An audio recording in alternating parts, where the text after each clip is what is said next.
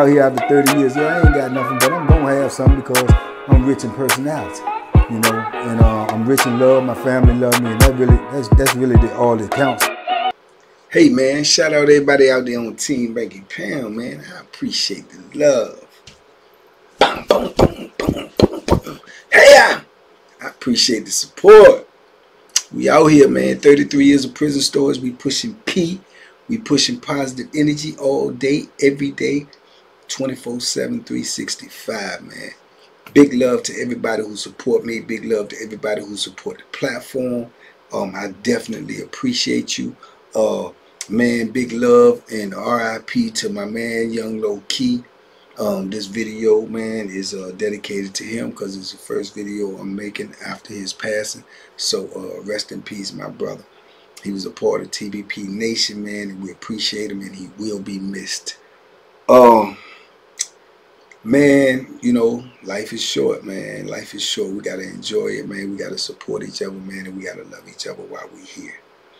Uh, with that being said, man, today's video, man, I, I, I don't know why this came across my mind, um, but it's in my mind, and I usually have to get it out of my mind, and usually when I do that, I, I talk to y'all. So, this is a crazy video, man. This is one of these crazy situations. I know a lot of people ask me a lot of questions, and a lot of people, you know, want to know about the different altercations and the things in prison and all of these tough guys, this, that, and the third. And what I wanted to let y'all know is that there's no um, criteria to who uh, will be uh, in a violent altercation in prison, man. It could be anybody, you know, anybody. A lot of things go down with a lot of different people.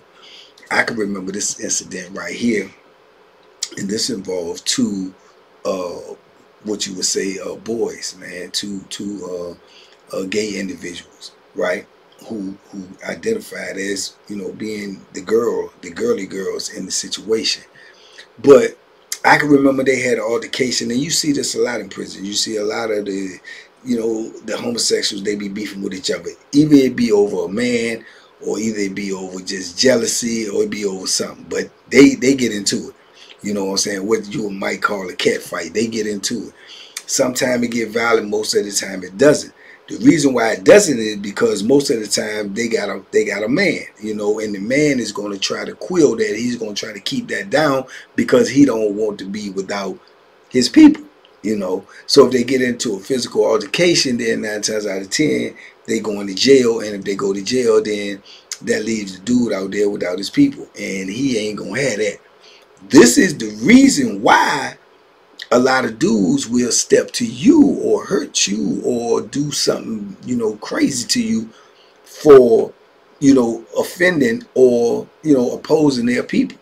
You know, I'm telling you right now, this is fact, not fiction. Anybody who's been locked up for any significant amount of time will, you know, will back me up on this.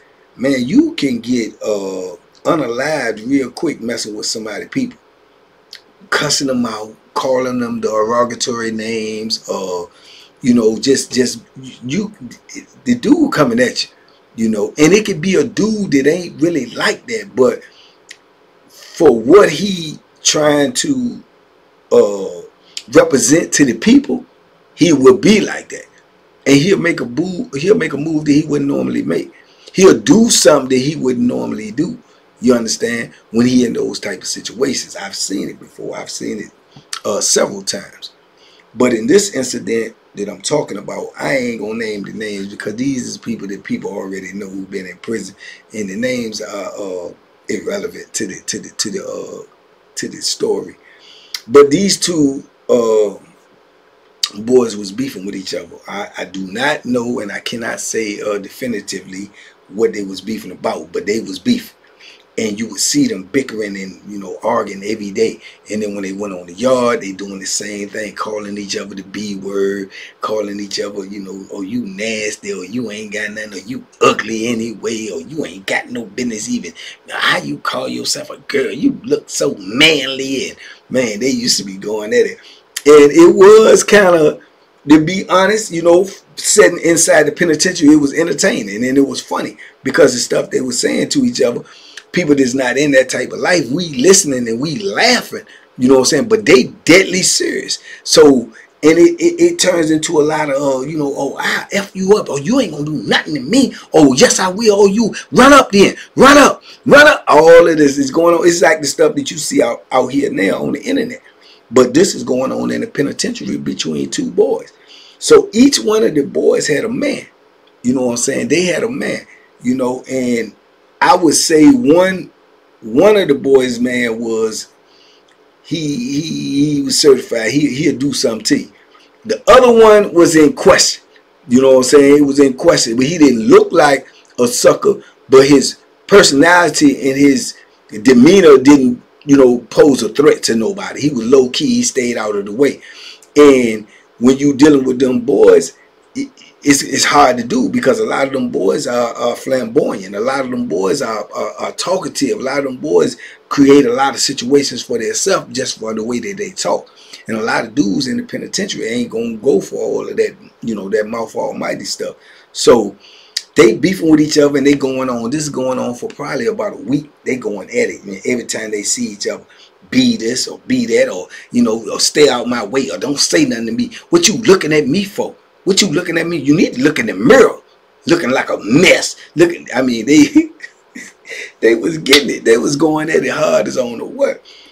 So this this is I can remember this. This is like on a Saturday morning when we get outside rec. So we go outside and um they over there and they they they argue, they walking laps and they pass each other and they argue. Oh, F you, F you, blah, blah, blah, blah. They going back and forth. They going back and forth. I'm standing over on the fence hollering at my homeboy. We just talking. We just out there kicking it. We came out there to kick it. I was gonna work out after I finished talking to him. But this is just going on. It's going on. So then on, on the compound that we was on, you got a little side. You got two little side courts. This little side court right here in the corner, and this little side court right over here in the cut. And then you got the big main court over there on the on the biggest part of the yard. So in these side cuts is where people usually go to rumble because you usually out of sight of the camera. So people go over here to rumble, people go over there to smoke weed, drink wine, gamble, do everything because you're basically out of the view of the camera, you know, or or, or, or the tower. I should say the tower. They can't really see you right there, which poses a whole nother uh, question. You know what I'm saying? How do you have a yard, a prison yard designed where the tower can't see you at? This is where people get unalived at. This is where people get stomped out at. This is where people get hurt at, beat up, crushed because the tower can't see them. And as I've explained to y'all on many occasions, the tower really don't care. You know what I'm saying? They really don't care it only gonna come into question if somebody get unalived out there. If they get unalived out there, then the person in the tower automatically gonna lose their job. But like I said, most times they not watching anyway. So what you got these two boys bickering and bickering and they keep on walking laps and they keep on passing each other, then they square off one time. Right? And you can see them pointing and talking and hollering and cussing. You could hear it from the distances I was at, but you couldn't hear everything that they were saying. But we right over here by where one of the uh, basketball court cuts at, where people go to get it in at. So both of them start coming over there, and they go over in the cut. so we sitting there, we look, we like, oh man, they might be getting ready to rumble. Two boys, they might be getting ready to rumble. So we we looking, so we stop our conversation and we looking as is other people, right? But you try not to stare because you draw attention. But we looking, but we just acting like we are here talking, but we looking at what's going on. So they get over there and they popping off at each other.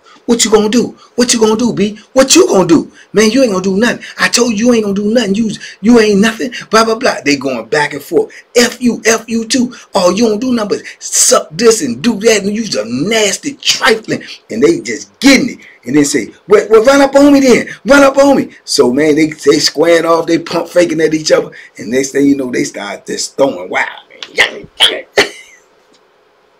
so they hitting each other. They rumbling. They rumbling. Right? Now both of their men is on the yard, but I guess they doing other things. So then, while they swinging at each other, swinging at each other, the shortest one, his man is on the basketball court. He comes over there. He stop playing. He walks over there. He see him fighting. They rumbling. They ain't doing nothing but a bunch of punching. But it's some of them Jones is connected. And they got boom, pulling on each other's shirt and everything. And then the boy reach in his pants and pull out that Bethlehem. Now it ain't no big one, but it's big enough that it's gonna hurt you and it's gonna get the job done. He pulled that thing out, man, and they just scrapping and swinging at each other, and he stopped poking. Just swinging like that, just wow. And he was hitting them because the upper boy had his head down, just swinging, but he hitting them all in the back. And then you see his shirt started to turn red, and then you know he got something in his hand because you could see he bleeding, and the boy was hollering like ah ah ah, and he just had grabbed onto his shirt, and he still was hitting him. And while he doing that, his man, the one that's getting hit, that's his man that's standing there. He see that. He runs over and he just hauls off and bam and catch him. And he just hit him. Bam. He just fell down. And we on the concrete because they on the basketball court. Bam. He fell down.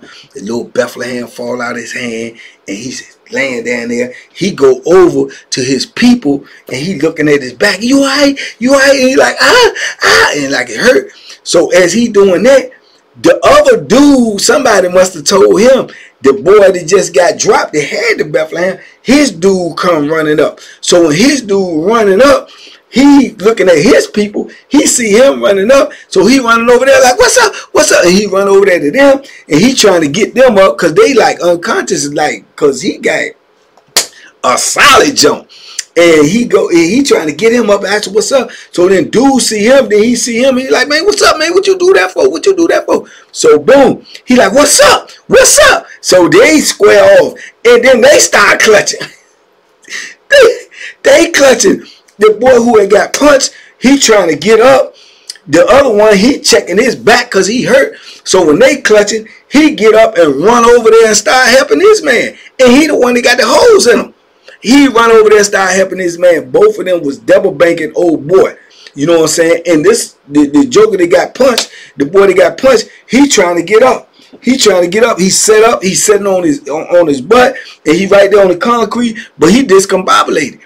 He discombobulated between the punch and his head hitting that cement. He discombobulated. His man getting the, the bank put on him right there.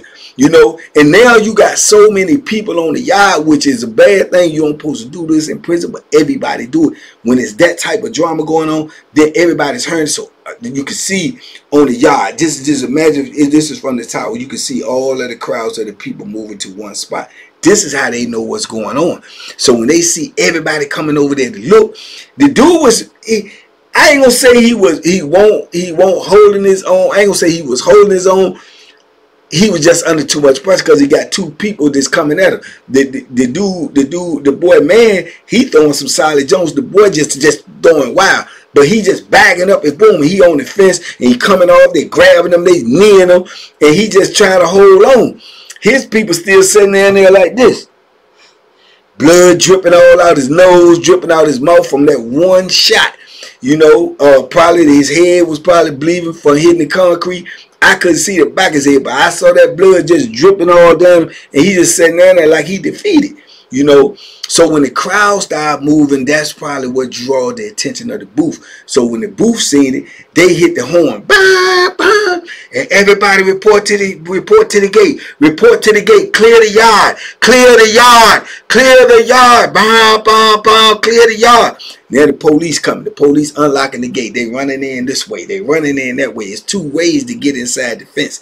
They running in, they running in. I'm talking about 12, 12, you know, two more, three more, five more. They coming, they coming. Clear the yard. Everybody get off the yard. Get to the fence, get to the fence. So the dudes, they still trying to get at old boy because they going to jail anyway. They know they going to jail. They still trying to get at him and he holding on. They finally get him down to the ground. They get him down to the ground. They punching him. They punching him. He curl up like in the fetal position. Then the, the, the, the, dude, his man is on top of him punching him. He's standing up. He kicking him. He kicking him, right?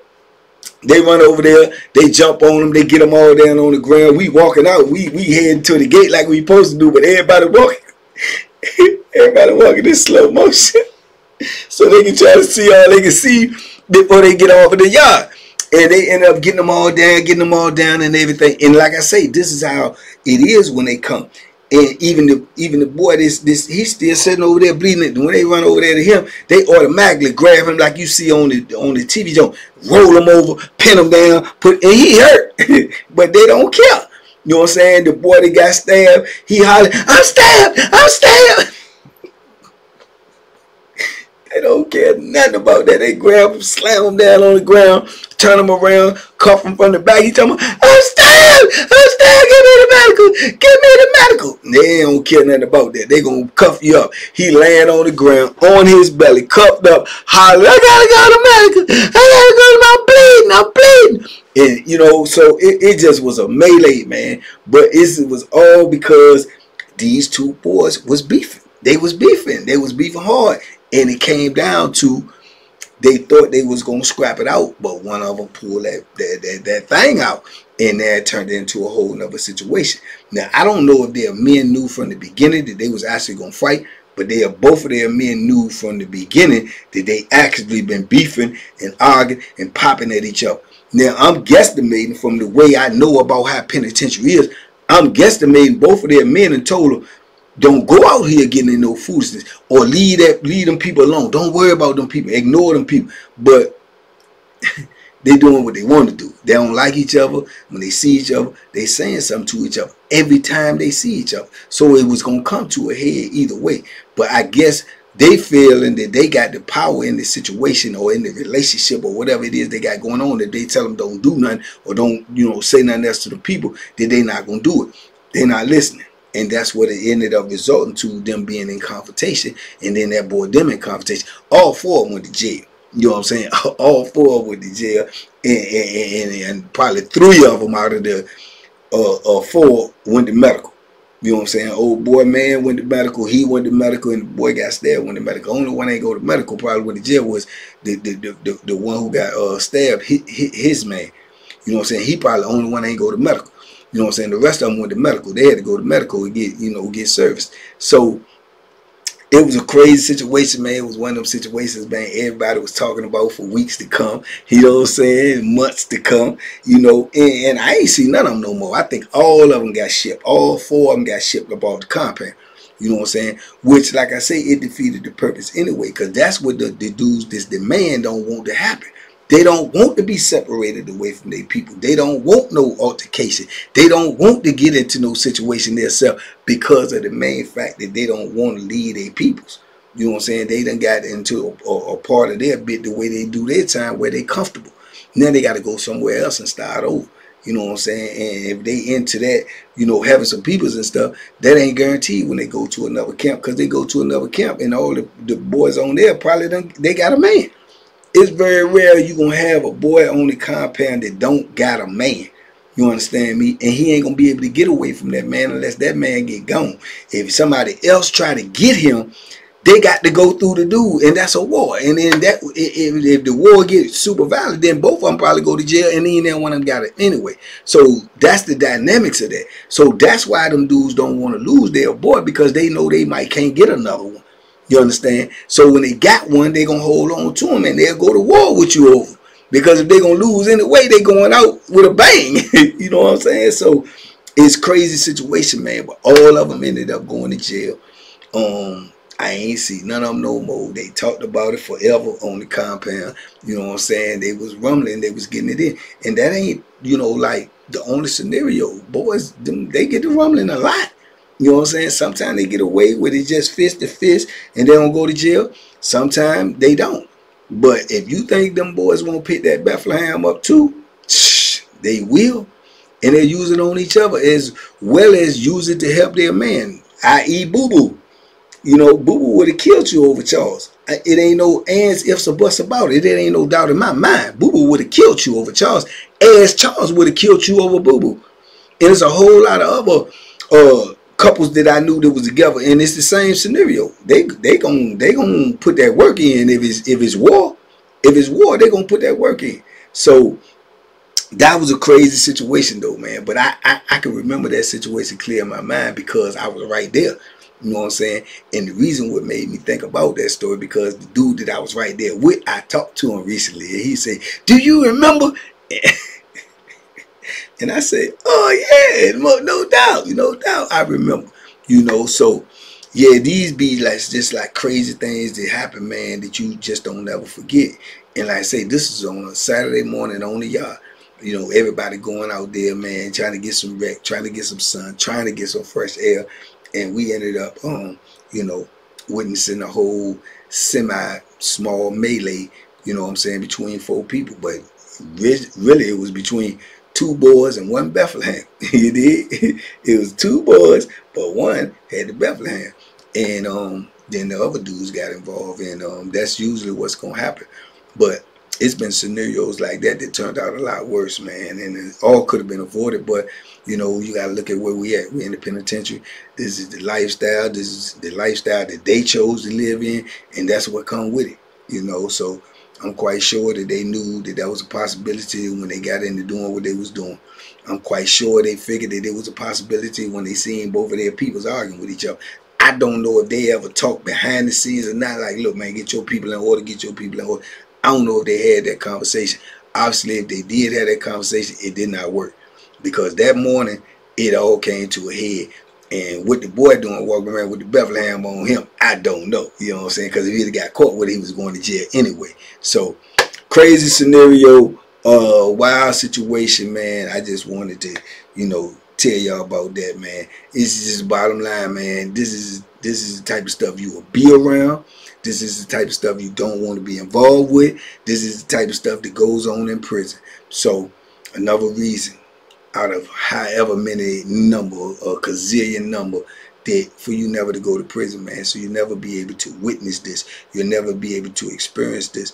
The only way that you ever want to have knowledge of this type of uh, incident is by hearing it. Hear about it. Don't don't don't be a part of it. You know what I'm saying? And the only way you can ensure that is stay free, man. Stay out here in the real world, man, where you know what's going on to, for the most part, and you can control what's going on. In prison, you ain't gonna never know what's going on, and you can't control none of it. You just have to respond and react to it. But y'all let me know what y'all think in the comments, man. Big love, TBP Nation. Stand up. I appreciate the love. I appreciate the support.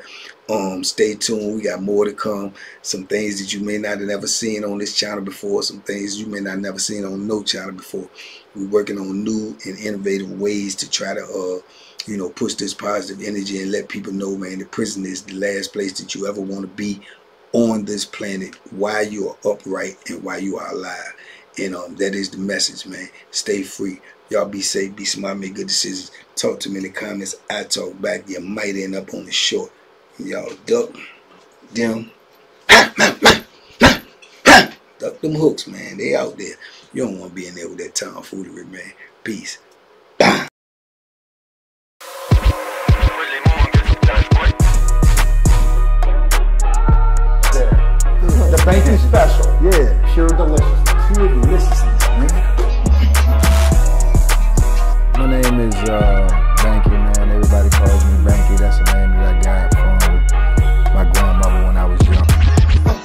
Coming out here after 30 years. Yeah, I ain't got nothing, but I'm gonna have something because I'm rich in personality, you know, and uh, I'm rich in love. My family love me, and that really, that's that's really the, all that counts.